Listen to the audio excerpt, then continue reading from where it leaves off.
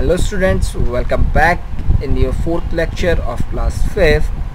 And इस video के अंदर हम एक्टिविटी से स्टार्ट करेंगे। एंड इससे पहले हमने डिस्कस किया था about the micro computer mini computer main frame computer super computer so now यहाँ पर आपको एक एक्सरसाइज गिवन है। एंड इस एक्सरसाइज को आपको सेल्फ कंप्लीट करना है।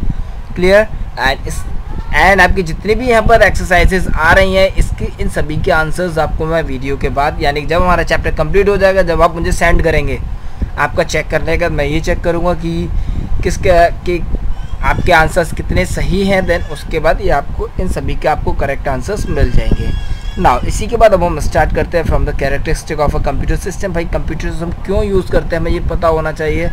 That why let start first point आता है एक्यूरेसी कंप्यूटर कभी भी आपको गलत रिज़ल्ट नहीं देता है, जो जो भी इंस्ट्रक्शन उसके अंदर सेट है, उसके अकॉर्डिंग कंप्यूटर आपको हमेशा सही रिज़ल्ट देता है। Clear so accuracy speed a computer can perform use calculations very quickly यानी कि कितने भी हमारे पास कॉम्प्लेक्स कैलकुलेशन हो, उसको काफ़ी इजी तरीके से और काफ़ी जल्दी उसको सॉल्व कर देता है। इंटेलिजेंस भाई सिंपल है कि कंप्यूटर कभी भी टायर्ड नहीं होता। अगर आप पढ़ रहे हैं तो आप पढ़ते पढ़ते बोर हो जाएँगे लेकिन आप जिस डिवाइस पर अगर आप मोबाइल पर एक वीडियो को देख रहे हैं तो मोबाइल के ऊपर कोई फ़र्क नहीं पड़ेगा बस उसको प्रॉपर चार्जिंग मिलती रहे देन वो कंटिन्यूस अपना काम करता रहेगा। सो so, इस प्रोसेस को बोलते हैं intelligence it does not get tired और bored like humans it can work for for hours doing the same job ये काफ़ी लंबे समय तक एक ही काम को कर सकता है। अगर वीडियो चला रहे तो आप कंटिन्यू वीडियो चलाइए कोई फ़र्क नहीं पड़ता। आपके सिस्टम पर बट उसको प्रॉपर चार्जिंग मिलती रहे।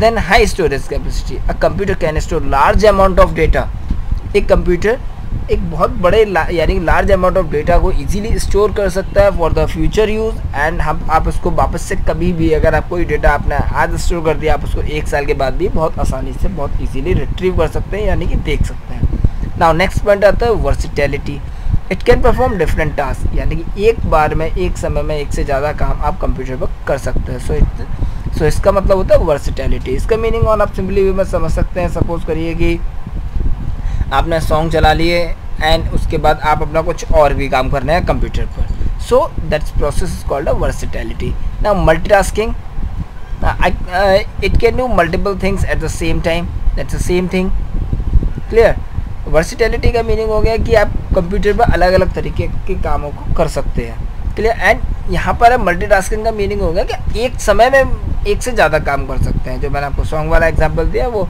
ये उसी के लिए मल्टीटास्किंग यानी कि मल्टीटास्क एक साथ एक से ज़्यादा काम करना। So it is a multitasking right versatility का मीनिंग क्या हुआ? कि आप एक ही कंप्यूटर सिस्टम पर बहुत सारे काम कर सकते हैं। आप उस पर गेम भी खेल सकते हैं, पढ़ाई भी कर सकते हैं एंड म्यूज़िक भी सुन सकते हैं।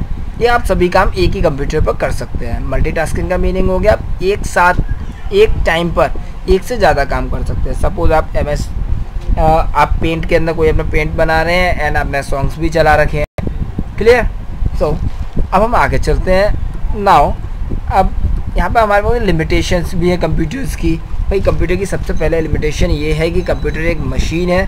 सो so, जो भी इंस्ट्रक्शंस दी गई हैं उसी के अकॉर्डिंग काम करेगा एंड जब तक आप कोई फर्दर इंस्ट्रक्शन कंप्यूटर को नहीं दोगे, जब तक कंप्यूटर कुछ भी काम नहीं करेगा आइडल रहेगा। आइडल का मतलब आपने ऑन करके छोड़ दिया, वो एज इट इज़ रहेगा। ठीक है?